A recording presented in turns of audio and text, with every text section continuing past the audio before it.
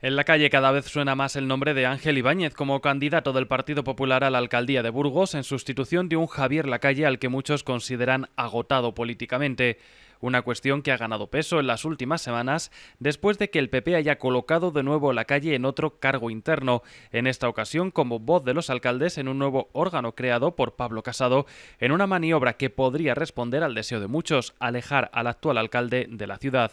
Un deseo que responde a la incapacidad del regidor municipal de mantener unido a su equipo de gobierno y a la cantidad de despropósitos que ha acumulado con decisiones particulares y que algunos han calificado de interesadas en algunos momentos, votantes habituales del PP han reconocido públicamente que de seguir Javier Lacalle como candidato, en esta ocasión su voto no será para la papeleta popular, algo que intranquiliza al partido desde hace meses. Habitual se ha convertido la pregunta a Ángel Ibáñez sobre si ya ha decidido si será o no el candidato del PP y su respuesta siempre ha sido la misma hasta ahora. Me remito a lo mismo que he dicho en anteriores ocasiones, que es nada. Cada cosa tiene su tiempo y un tiempo para cada cosa.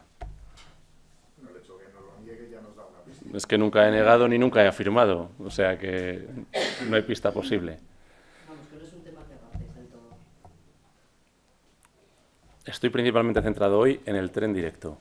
Madrid-Aranda-Burgos. Ibáñez no despeja la duda, pero tampoco niega la mayor, por lo que no sería de extrañar que en una semana se confirme por voluntad del partido que es el nuevo candidato a la alcaldía del Ayuntamiento de Burgos.